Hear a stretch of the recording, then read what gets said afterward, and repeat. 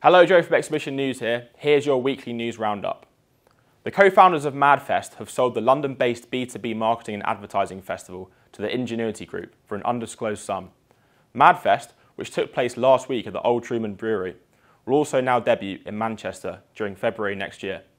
Dan Brain, MadFest co founder, said the event had several approaches over the years, but Ingenuity's drive to create something different stood out.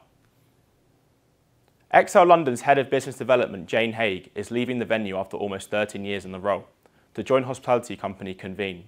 In her new role, Haigh will manage a team of 32 people in London, Manchester, and Birmingham, responsible for selling across a portfolio of meetings and office spaces, which includes etc. venues. Those who fail to give solid proof of efforts to reduce emissions every two years will have their names removed from the Net Zero Carbon Event signatories list. This was confirmed by Alexandra Alice, Executive Director of the JMIC, which hosts the scheme. The scheme has seen many of its sign-ups already report on the progress, with most having implemented positive steps towards sustainable events.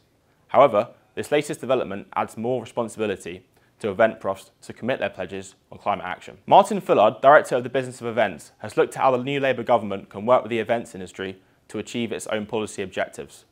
The political shift will hopefully usher in a new era of optimism and ambition, not just for the nation as a whole, but also for the UK's events industry, Fullard said. Finally, to commemorate 50 years since the introduction of the Health and Safety at Work Act, Josh Taylor, Health and Safety Manager at ESSA, reflects on the positive changes to the exhibitions industry since its inception, but also what still needs to happen. That's all for this week. Stay tuned for more next time and click the links below to find out more.